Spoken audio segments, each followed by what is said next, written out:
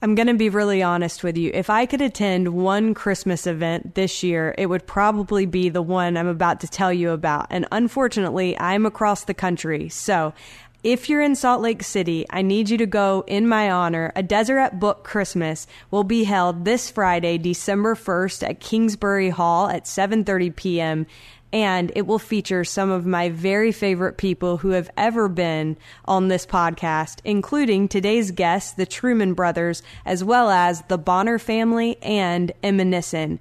These are incredibly talented people. You won't be disappointed. So visit DeseretBookPresents.com for ticket information. Merry, Merry Christmas, everyone. The Truman Brothers recently released a Christmas album, and yet, as I prepared for this interview, two lines from a previous album stood out to me. You see, he knew thee long before you were in the womb, and he felt you in the garden under the full moon, but still you wonder how it ever could have been for you. And in another song, the Holy Spirit whispers, This will all be for your good, but you can't help but wonder how it ever could. But remember in the garden where blood did fall, the God of heaven suffered it all. Your pain is like the empty tomb before her name he called. Song lyrics that testify of Christ, who he really was and what he really did for each of us. Lyrics that invite him into our day to day, even when it's not Christmas. Perhaps this season we can focus on carrying him out of the month of December with us and into a new year. The Truman Brothers not only performed together as a duo, but as part of the Nashville Tribute Band.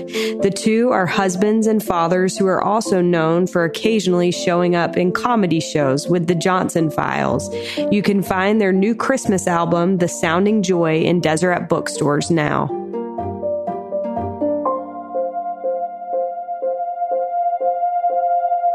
This is All In, an LDS Living podcast where we ask the question, what does it really mean to be all in the gospel of Jesus Christ? I'm Morgan Pearson, and I am so honored to have Chad and Ben Truman on the line with me today. Ben and Chad, welcome. Hello. Well, this is so fun for me. I have to tell you, I actually felt like I took a little trip down memory lane today as I was preparing for this interview because I was at BYU when you guys were like having your heyday and everybody, oh. everybody at BYU, they were all Truman fans. So this was very fun. But I want to start. You all grew up sons of a famous country musician, and I am a Diamond Rio fan. So mm. Dan Truman is your dad. And I have to say, he is definitely on my list of people that I would love to interview. So I'm going to need you guys to help me, help me I hook that I, up. yeah, I got, I got his number somewhere. perfect. Perfect. Um, but I wondered, do you feel like, I feel like, uh, that probably is something like his incredible talent is probably something that you've appreciated more as time has gone on. But I wondered, do you feel like you've always appreciated how talented he is? And what are the biggest lessons that he's taught you about music and specifically about songwriting?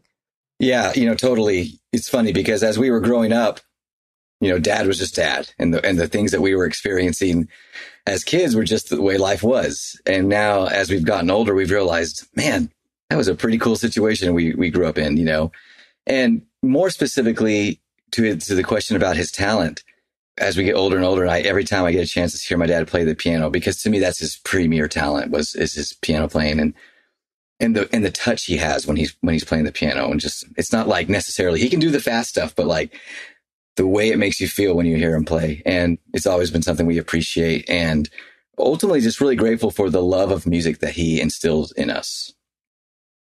I mean, you know, he's one of generations above him as well that loved music, right? And we got to see our grandparents share that love on the Truman side and my our mom's side is the Jensen side. It was such a joy to see them enjoy music. Our dad, when he was in college, our aunt, his younger sister, told us a story that when he when they were living in Orem, they were like, "Hey, let's go visit Dan and have lunch with him or something at BYU." And she said, I always knew where he would be in the practice rooms when they wanted when they went to BYU campus. Where was Dan? There's no cell phones back then, right? So where's Dan? He was always in the practice rooms. And she said about four to five hours a day, And um, I just, I know, I love that, right? The the effort led to the success, right? I think so many times we look at people like your dad and we just think like, oh, they're effortlessly talented. Hmm. and that's so not true. I think so many people work so hard to get to the point that they're at. I listened to another interview in preparation for this interview where you talked about how your parents, um, including your dad, didn't push music on the two of you at all, but that when you started, Chad, to show interest, he began teaching you quick little lessons that mm-hmm. changed the way that you played the piano. I wondered if you could tell us a little bit about that. Yeah. You know, again, both mom and dad were performers at Opryland in Nashville, right? And that's why we moved out to Nashville in the 80s, or that they did. And then the kids came later. Um, and they just did music because they loved it. And then we started taking uh, just general piano lessons like many kids do.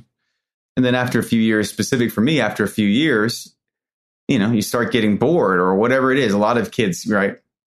Uh, maybe they're just not uh, as in love with the classical side, which was my story. And so when my dad saw that excitement waning, he said, "Okay, let's let's do something about this." So he started giving me what I call five second lessons. So he'd be like, "Hey, just play it like this. Makes it sound cooler." And then he'd walk away, you know.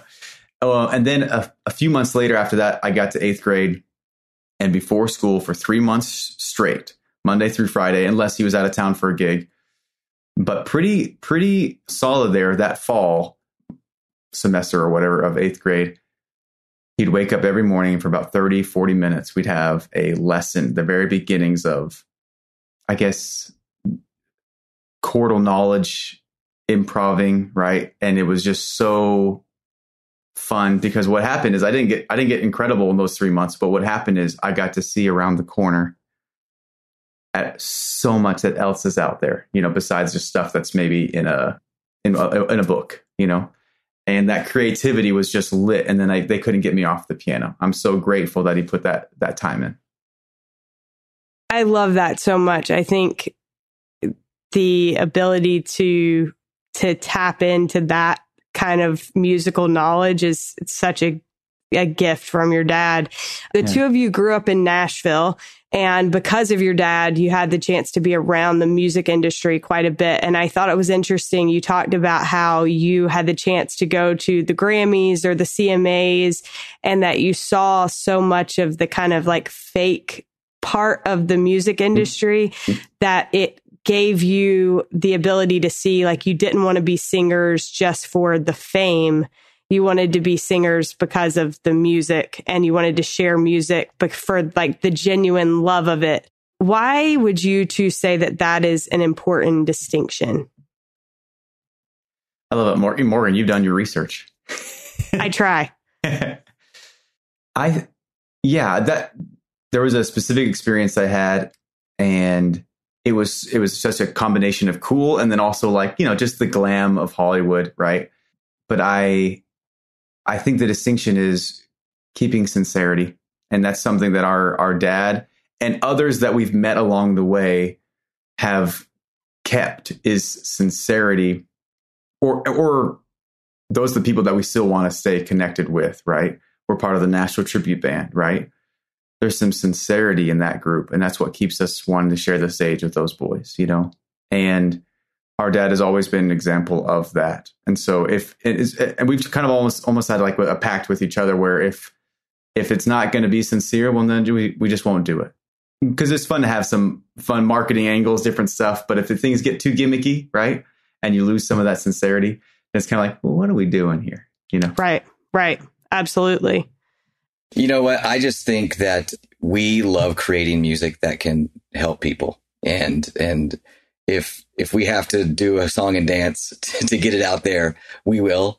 But we're definitely not in it for the song and dance, you know, necessarily. We we just want to create music that feels good to people in the way it felt good to us when we were making it. And if we can do that, uh, that's what we seek for sure.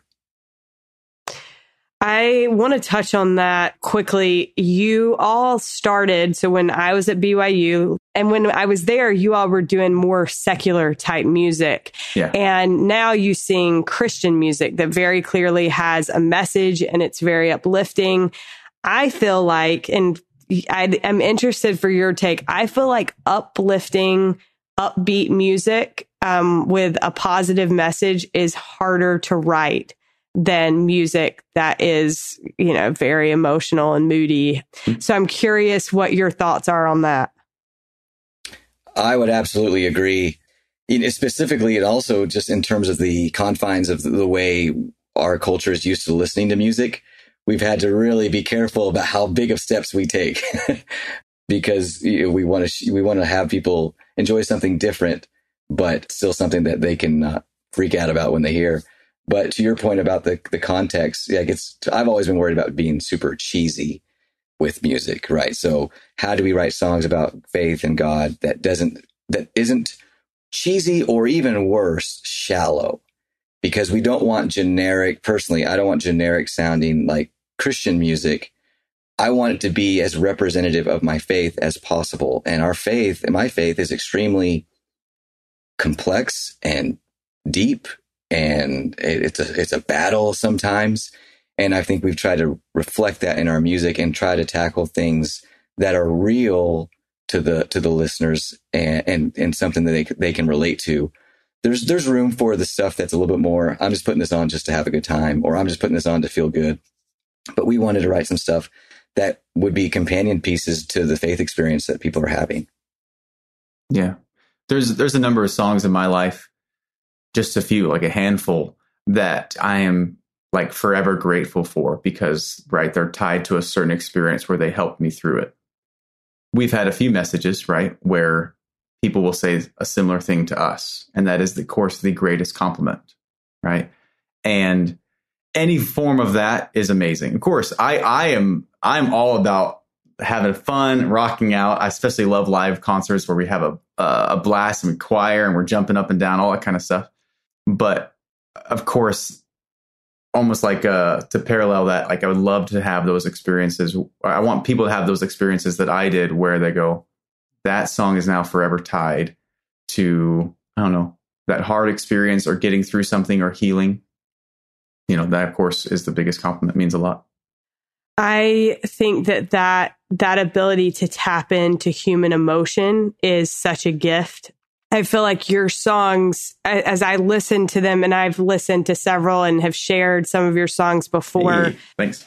At difficult times that friends have gone through, but your songs communicate a lot of very human emotions, especially related to faith. And I think faith is, like you said, been such a complex thing and such a personal thing. You mentioned that you're speaking, you know, from personal experience with that. How would you say that you've tapped into your personal experiences with faith in, in your songwriting? Totally. I mean, of course, there's my own journey that I've had, and uh, you know, we we grew up in Nashville, where you know it was just different than Utah for sure, which is where we live now. That's why I say that. But Nashville, we had to come to grips real early on with what we believe and why, because we had people all around us asking us and pushing us and pressuring us on these issues and it was really uh, it was a blessing ultimately to be able to uh, come to grips with that. But then that battle continues on forever as you go through your own struggles in life and you're trying to figure out your own stuff. And I think our songs definitely um, draw from our own experience, and of course, I think it draws from the from those that are around us, our loved ones. I, I was even thinking about this the other day because I feel like sometimes we're tapping into just a general expectation of what's to come in life, even if we haven't experienced it yet we all go through our fair share of trials and we're all going to have our moments where we're asking those questions. And I, I kind of put myself in that place sometimes so that I'm prepared for it, I would say, when it comes. And for also for the sake of uh, tapping into to the right emotions for the songs. What would you say is the role that music is able to play in people's faith? Um, and what role would you say it's played in your personal faith? I think music is something, at least for me, music speaks to my soul and to my heart.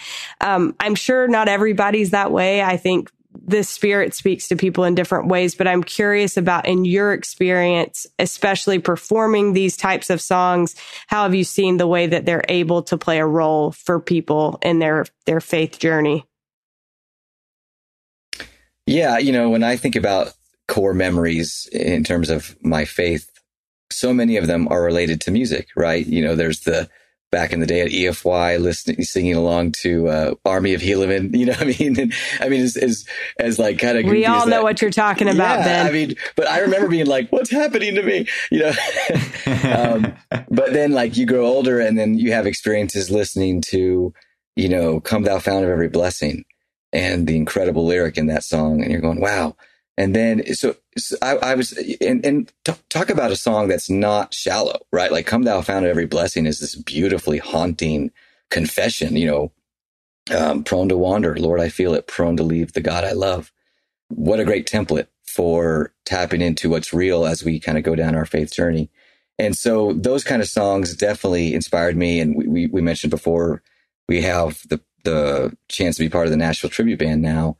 And those songs, uh, have been awesome to be a part of and sing along with over the years because they all speak to these same things we've been talking about. And I, I uh, you know, we were having a, a, conversation with our buddy Dave Butler not too long ago from Don't Miss This. And we were talking about the place of music in our church and our, in our culture and how there's been some steps taken to maybe make things a little bit more contemporary, a little bit more like accessible, especially for younger people so that there, there'd be an entrance into interest into the church through music.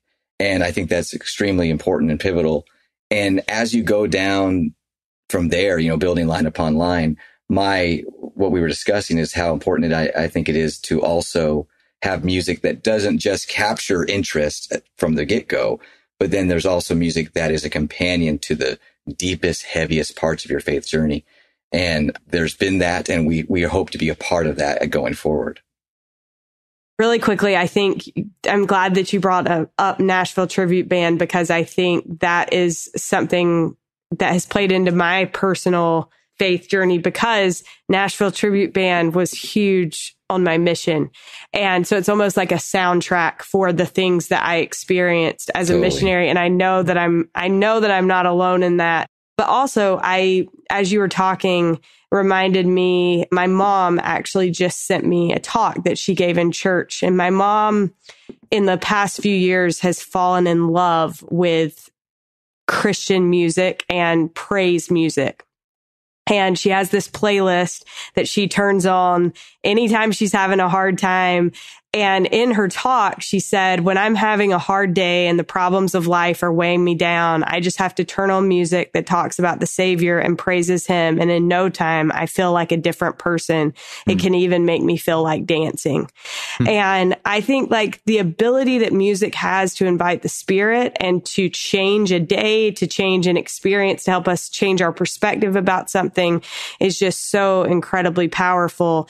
Shifting gears a little bit you are both fathers. Ben, you have four kids. Is that right?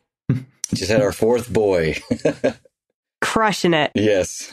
And then, Chad, you and your wife went through quite the journey to get your little one here. Yeah. And after 12 years of marriage, you had a little baby boy. I'm curious, how do you balance the life of being a husband and a father and also a musician, both of you? I mean, you know, uh, I'm working on it, right?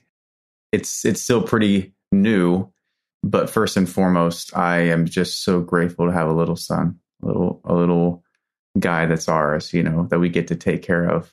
It's been, of course, challenging and all the things, but all of those hard nights or hard moments are completely eclipsed, right, by the joy of him we chatted Morgan a little bit earlier before we started recording about the joy of just hearing them laugh. Like truly there's some healing in that. And yeah, the the 12 years of marriage we did IVF. You know, we, we tried for eight years, and those last year or two of those eight years, we tried IUIs and IVF, and of course, there's a money aspect, but really, it's it, the emphasis is the amount of like hope and is it going to be is it going to work this time? And so many shots. My wife had so many shots. My gosh, anyone who obviously is familiar with IVF knows. And so it's been so wonderful to have him. And then you go, okay, so now we have a, a baby boy. He's now he now he's one. Like there's there's ten hours that he's awake every day. So who, who's going to watch him? like just the simple thing of when you've, you know, when you've gone so many years as just an adult, right? And it's now I, I'm purposely trying to make it very like, uh, I guess over exaggerated. Totally. But in a way, I, it's such a beautiful realization of, my gosh, every parent, our parents, they have this same situation where they have to choose. Well, at least good parents have to choose to give up something because they just gained something else. You can't have everything. There's trade-offs in life, right? There is a, there is a loss of other things. And that sacrifice because of how dependent those the little the little ones are. Anyway, it's just made me appreciate mothers across the world and what they go through, um, women in general, and but but then any parents like this is a, a a beautiful hard test, and of course makes me appreciate just a, a lot more, which is just a tiny bit more of how much our heavenly Father loves us, right? And ultimately having the perspective that this is all uh like how it's supposed to be, I guess that really helps to be balanced to go you know to kind of hone in with your question that it's literally helping me like cut out just random good things that you do or okay things like it makes you try to like okay less social media. My gosh i'm on my phone he wants to play with me. Like all those little things it helps because you realize oh, actually here's one last comparison to kind of drive the point yeah when I was on the mission, any any good missionary feels the same way. It is such a blessing. You have one thing to focus on. There's no dating. There's no meeting, needing to make money. There's no what am I doing with my life, or you know all those questions of insecurity or like uh, question marks that you don't know what to do. There's such a peace of that, right? And then you get home and it's kind of like, oh, I don't. Okay, now it's all hitting you again, right? Getting married, one is a huge way of like, okay, now you're honed in, and then getting like having children added to your life, it is the biggest, it's the closest thing I've had since the mission of like, this is specific and Focus. the priority is clear. It's not me, it's them. And I loved that on the mission. And I'm loving it now. That's, that's such a good comparison. I always tell people talking about coming home from a mission I remember I have this very distinct memory of being on the airplane and writing down like goals for mm-hmm. how I wanted to be post mission. And I wrote down like study my scriptures an hour every morning. And I thought it seemed realistic as like a missionary coming home. And then you get home and you're like, what in the world was I thinking?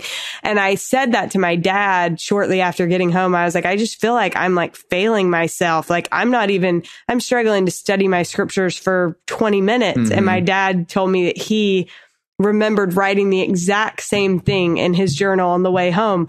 And it's just life gets, you know, so in your way. But I agree with you. There's something about these additional responsibilities and I think something to do with covenants as well yeah. that allows you to be more honed in and I love that I love that comparison that you made. Yeah. Yeah. Ben, any thoughts on this as the veteran dad over here? Because Chad and I are newbies. Yeah. oh man, I'll tell you what, I feel like a veteran, but it doesn't mean I'm an expert. But I've been in the mm. trenches for quite a while. I'll just say this, like in, in, in the name of the question of like balancing the, your career and then your faith or, or your, or being a parent. You know, I think Chad would agree with this. Like music's like all careers as you pursue it, it's going to take a lot of sacrifice. It takes a lot of time. Music's unique in that it, it's, man, you really gotta, you, you almost have to, whether you want to or not, be like, Hey, look at me, you know, here's my Instagram reel and here's my new song and here's my new this and oh, hopefully this is hitting the algorithm right, and all these things that you really don't want to care about, but just in the name of putting the song out there, you kind of have to. I'm so grateful for the check and balance, though, of being a parent and how that being a parent and being a good husband and good father is just so much more of a priority for me than any goal related to the music, even though those goals are, are pretty big. And so I'm just grateful that in any moment where those priorities seem to be clashing and you have to pick one or the other. It's a simple, it's a simple choice. And I, I think I'm grateful for my parents who showed us what that looked like. And I'm hopefully doing a good job for, for my boys now. I'm sure that you are. Hmm. Okay, I'd like to before we uh, so I kind of moving toward another part of this interview, I'd love to kind of hone in on some of the lyrics to some of your songs because I think the two of you are so talented. And I, I've pulled a couple that stand out to me. In the song Old Child, you say, you see, he knew thee long before you were in the womb, and he felt you in the garden under the full moon, but still you wonder how it ever could have been for you. And then in the song Before the Calm, you sing, The Holy Spirit whispers, This will all be for your good, but you can't help but wonder how it ever could. But remember in the garden where blood did fall, the God of heaven suffered it all. Your pain is like the empty tomb before her name he called. It's a miracle. And those two, I, I found an interesting contrast. I felt like between those two songs because both of them talk about the atonement of Jesus Christ. So I wondered how your testimony of the atonement of Christ has been strengthened through the experience of writing these Christ centered songs. Yeah, well, thank you for pulling out those lyrics. Those are all lyrics that are especially um, important to us from from our songs. Um, I think you know back to a question from earlier. We're just deciding how to make Christian music, and is it harder than secular music and stuff like that. I think we really cared about saying things that were sincere and we wanted to, and, and that made us ask the question, like, what is sincere to us and what do we believe and what is important to us? Of course, we wanted to make sure our songs could point people to the atonement and, and what is that and how does that apply and how do people experience that in their life? And one thing that kept coming back to us is just the thought of how many folks or even us at times or just down and out and we are not connecting with the atonement um, because we're too sad to even think about it, right? We're too, we're, we're feeling too many things and we can't even get there. And, um, and in, in cases where you feel like it doesn't apply to you or somehow it can't work for you. And we just wanted to reassure people that it in fact can, and especially, especially in moments where you don't know how, getting that confidence that it will. Um, there's that moment in the song before the calm where it says, our pain is like the empty tomb before her name he called, right? So right before he said Mary, you know, she's looking at an empty tomb, tomb thinking all is lost and mm-hmm. having nothing but questions and nothing but just sadness. When in reality, all was solved. Everything amazing had was happening. She just didn't know it. And it took nothing more than the master's word for her to realize it. And so I think these songs are kind of hopefully um, encouraging for the people who are still in that moment before he has said your name to know that that is coming and that this is all part of something designed for our good. Amen.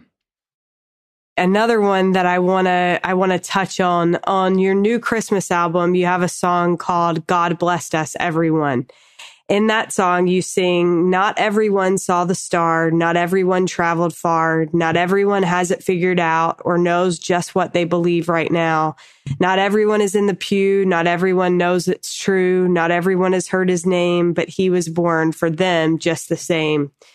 And I love that because I think it touches on a lot of different faith circumstances and it almost like brings to mind different people, at least for me. Yeah why do you feel that this is an important message to communicate right now in 2023? And I'm curious, like, why was it important for you all to communicate that on a Christmas album? Hmm. Um, well, the first thing that comes to mind is um, some dear friends we got together a few years ago and a couple years ago, and they shared with us that they had questions, and when they met with their, you know, local bishop, and he was you know, like, well, you know, people go through faith crisis and this, this, and this, you know, and they were like, I, I don't know if I think we're going through a faith crisis. We just have questions. And I think it's all, it's very important to seek. And we have a bunch of people that are good people seeking answers. And just because they don't have the answers, like, I feel like a lot of times it's much more, people actually have a, a high level of belief but there might be something that got a misconception or something was thrown off. A young woman's teacher said something, whatever, and a misbelief came in about not maybe even about who God is, or even just about the the people that kind of play that God role in our lives, or like the people that teach us about God. And it just kind of throws things off. And the hardest and the best thing to do is that's all of us in some form. So I don't want to like push people away when they have questions, right? We all have our version of that. And so like no not everyone knows what they believe right now. That's beautiful. Like that's that's life, you know? And to just mourn with those who mourn instead of pushing those people away because oh you you're having a faith crisis like you don't have faith you're not believing it's like no i'm in the trenches trying to figure this out that is faith action right figuring it out that is faith I could not agree more. And before I give Ben a chance to hmm. chime in if he wants to, I just want to say, I think that is one thing that I would love to see kind of go away is that term faith crisis yeah. because I think it just suggests that people are in a panic that you're you can't yeah. have questions without feeling panicked and I I personally am a believer that that feeling of panic is a tool of the adversary he he's the totally. one that wants us to feel like you know you got to make a decision right now um, you don't have time to figure it out. And, and God is a God of eternal progression. I think I've said this on this show before, but I just think if we could eliminate that idea that people are in a crisis and rather allow space for figuring things out, yeah. taking time, asking questions, I think we'd all be in a much better place. Ben, do you have any other thoughts on that? Yeah, you know, just in answering why for this Christmas album, you know, I don't know if this is still a thing, but it seemed like there was a moment there a few years ago where like we had to be careful saying Merry Christmas to people in case in case that's not something they wanted to hear. So it's like we have to be Happy Holidays, you know, or whatever. And I was, and you know, whatever. I that was its own thing. But as we were writing this song, I was like, the thing is, Christmas, um, I believe, is a blessing unto all. You know, in the scriptures, like God, you know, peace on earth, goodwill to men. Like it's to all men, and I want, we just wanted the song to be representative of how universally beautiful the birth of the Savior was and what that meant for everybody. Because no matter where you are at on your faith journey, there are blessings that you receive because of what happened and what happened and what we celebrate at Christmas. So this is a song for everybody because Christmas is for everybody again, just more confidence in the moments where you're not sure where you're at, that this uh, is something for you. Love that. Uh, before we get to our last question, I want to kind of tease out. I understand that Nashville Tribute Band has a Book of Mormon themed album coming out. Is that true? And what can you kind of give us uh, to to look forward to there? Don't take the bait, Ben. We were sworn to secrecy. you know what? I actually, I actually called up Jason, who's our uh, our, our, our leader in the Nashville Tribute Band, and um, I said, "Hey, can I talk about this on the podcast?" He said, "Yeah, go for it," because we haven't really told anybody yet. Mm-hmm. But yeah, we're super excited. There's a brand new album uh, coming out that's about the Book of Mormon. It's called Witness, a Nashville tribute to the Book of Mormon. And uh, so excited. There's some songs on here that I'm just I'm thrilled about, and uh, we're excited to be a part of it. It's coming early January, like on the third or something. Mm-hmm. So uh, be looking for it. It's going to be a companion for the "Come Follow Me" this next year. This is how I'm going to get into your dad because I've already had Jason on. There you go. So I mean, this is how I swoop in. I love it. You, yeah. If he doesn't answer, just let us know. We'll we'll, we'll tackle him. okay, perfect. Well, my last question for you is: What does it mean to you to be all in the gospel of Jesus Christ? The thing that pops in my head is having a few experiences growing up. Great family, great parents. Faith was a part of our world we attended church and I gained what I call a general testimony. And then serving a mission, of course, from most of us, right? It, it's a test of that testimony, a test of do I really want to be doing this for two years? Right. Uh, I remember asking that after about two weeks. And then I just had this feeling after your faith comes the witness. Right. And then that very night, I had the tiniest, beautiful little witness. And it was like, it basically wasn't like, it's all true. It wasn't that. It was go a little bit longer, keep going. Right. And then about, um, about three or four months later, I had my a very cool personal experience with forgiveness and the atonement. And that was like this, my gosh, okay, this is it's it's real. And I'm starting to feel the tangible of it. And then later, a few a few years later in my life, there was an experience where I felt something not of this earth about the first vision, about the Book of Mormon. And that those became my um specific testimonies, right? And then everything else is a general testimony. And the coolest part is, is that currently, right, as I continue to add more and more things, they can have more and more specifics. Um, but the coolest part is, is that my takeaway now is things can happen. A BYU professor can say something, and depending on the angle, it can be misconstrued. And that has so little to do with my testimony and my specific experience with the uh, with God.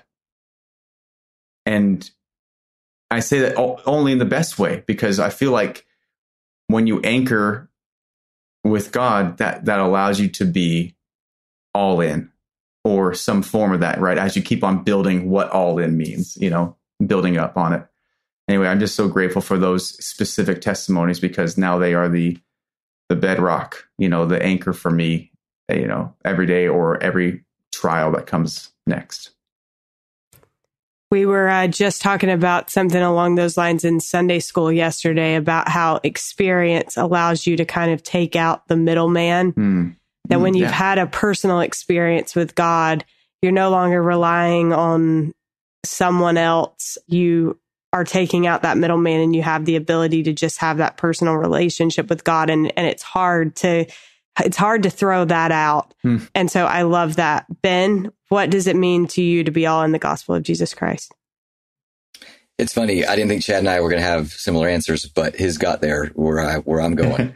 uh, there's this concept of being chill and committed that I always think about, where um, I'm no perfect member of the church, um, but I'm committed. And there's, and, and I don't know, you know, that's born out of the same things Chad was just talking about. And I will ebb and flow on opinions and I will ebb and flow in current confidence in certain pieces of testimony. But the, the rod is just going to remain in my hands. And that's what I mean by, that's what I, that's what all in is for me. I will go through this experience committed and I will, and I will, uh, respond to things as I do but nothing will will row the boat enough to toss me and and and that keeps you in the game and that keeps you building up precept upon precept and that whole thing and that's what's led us here today and so all in baby hmm. You guys are awesome. Thank you so much for for taking the time. It's been such a pleasure to talk to you. Yeah no thanks for having us on morgan. Appreciate you. You're awesome. Big thanks to Chad and Ben Truman for joining us on today's episode, and thank you, as always, for taking the time to listen. I hope this holiday season is treating you well, and we'll look forward to being with you for one last episode before Christmas next week.